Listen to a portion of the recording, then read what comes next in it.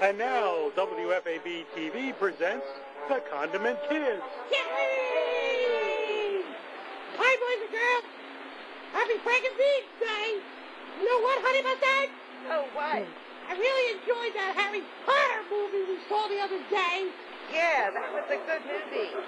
I'd love to be able to do magic and cast spells like Harry Potter can. Well, maybe you can start with some simple magic. Maybe you could try riding a broomstick.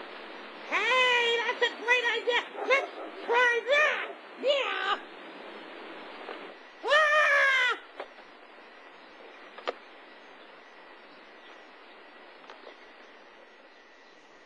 Well, it looks like you can't do magic like Harry Potter. Yeah, but I was able to cast a spell. I gave myself a dizzy spell.